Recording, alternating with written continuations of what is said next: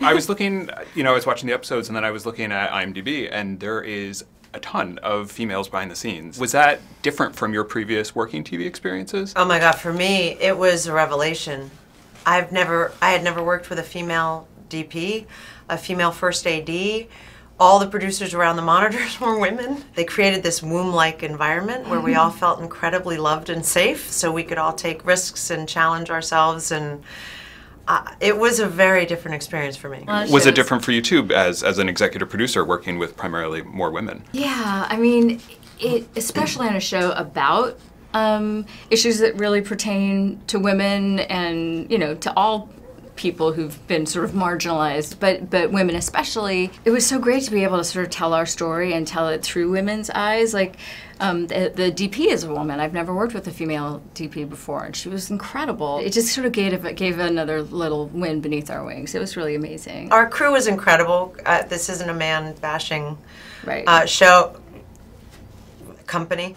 Um, and our crew, I, it was one of those things where I think that all lessons were taught together. And Absolutely. Yeah. I just remember the first day of shooting, our first AD, Shelly, Marti yelled action, and I was about to go, and there was a Dorito bag making a rustle. and everything sort of stopped. And usually the first AD, and I've I've always worked with great first ADs, but usually there's a big like, I said be quiet, and then the actor's like, and then and now action, and you're like, oh my god, that was. And Shelley was like, okay, so you want to finish that bag? We good? Okay, let's go. And, and it was like, oh right, you can also handle things that way. Yeah. What was it about Dietland that kind of grabbed your attention? I'd never seen a story like this before. Um, when I first read the book, like I- I've never seen a, a character who starts fat and and doesn't become thin, who who goes on a journey and it doesn't have anything to do with her body size. I was so excited to see that. I'm someone from network television, uh, and so when Marti first asked me to do the show, she sent me five of the ten scripts. five. I mean, I used to get the scripts 12 hours before I would shoot them. And I and I and for me what hit me the most was I wasn't just interested in my character. All the characters came off the page for me. All of them. And I was so excited for the story and I just thought this is something I have to be a, a part of. It's it's um, never ever been told like this before.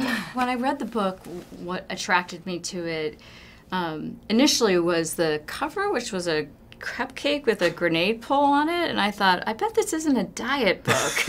um, and you know. Um, I'm really interested in, in issues relating to, you know, body image and self-image. And so I read the book, and what kept happening was it, ke- I kept sort of as a writer, you always try to guess what's going to happen next, and I kept guessing wrong. Like it kept taking turns and going places that I so didn't expect, and it becomes this incredibly robust, like intense, you know, funny, dark story that I just didn't see coming. And and as a writer, that's like hitting a, a gold mine. You're just like, and it kind of ends. The book ends where the story.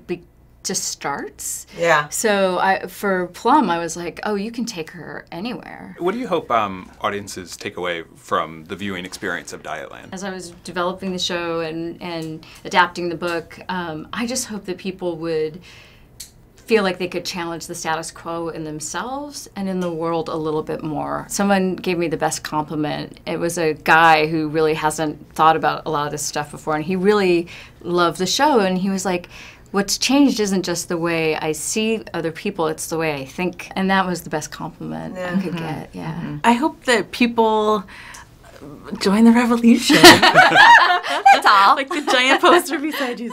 Uh, yeah, yeah. I hope that people wake up and realize like your life has started. Stop waiting for it to get better when you look different mm. and start being the person you are inside. Yeah. Make the world a better place, maybe.